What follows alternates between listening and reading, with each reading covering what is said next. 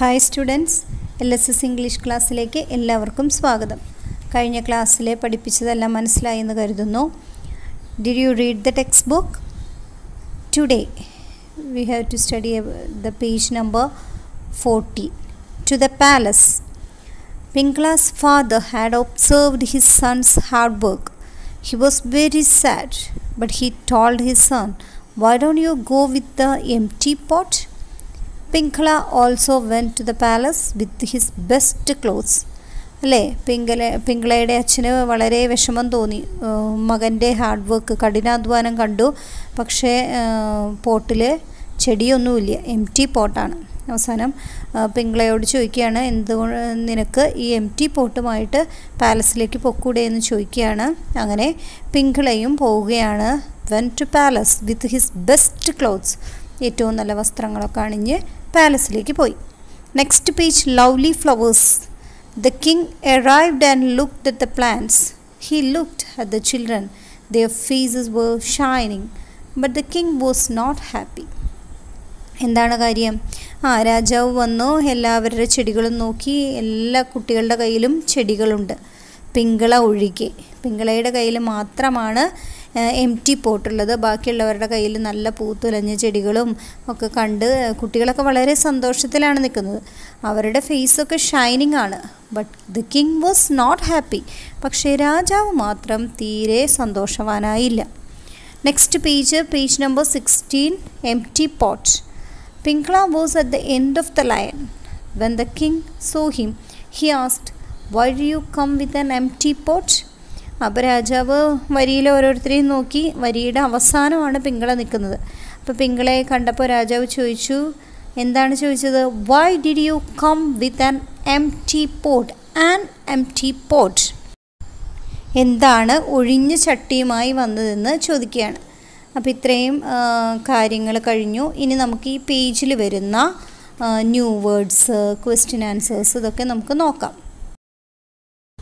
New words first one empty palace loft courtyard bouquet.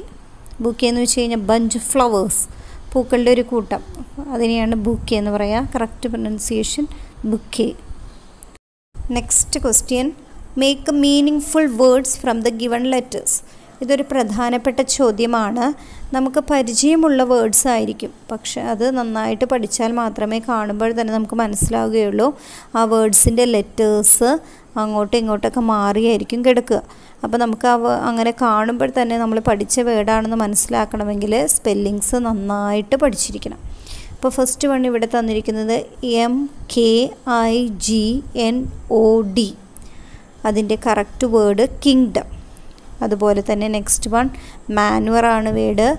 അടുത്തത് proclamation proclamation സ്ഥിരമായിട്ട് പരീക്ഷയ്ക്ക് ചോദിക്കുന്നതാണ് സ്പെല്ലിങ്സ് ജമ്പിളിലെ ലെറ്റേഴ്സായിട്ട് പിന്നെ ഇതുപോലെ അറേഞ്ച് ചെയ്യാനായിട്ട്. അങ്ങനെ പല രീതിയിൽ വരാറുള്ള ഒരു വാക്കാണ് proclamation next sprout and the last one knelt next odd one out ഒരാൾ മാത്രം വ്യത്യാസം ഉണ്ടാവും. അതാരാണെന്ന് കണ്ടുപിടിക്കലാണ്. First one planting reaping digging running അതിൽ വ്യത്യാസമുള്ളത് ഏതാണ്?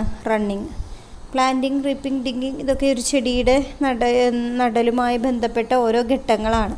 അതിൽ നിന്ന് വ്യത്യാസമുള്ളതാണ് running second one sunlight water manure tree അതിൽ സൺലൈറ്റ് വാട്ടർ മാനുവർ ഒരുപോലെയുള്ളതാണ് അതായത് ഇതെല്ലാമാണ് നമ്മുടെ ഒരു ചെടി വളരാനായിട്ട് ഒരു വിത്ത് മുളച്ച് വരാനായിട്ട് വേണ്ട കാര്യങ്ങൾ. ഇതിൽ വ്യത്യാസമുള്ളതാണ് ട്രീ.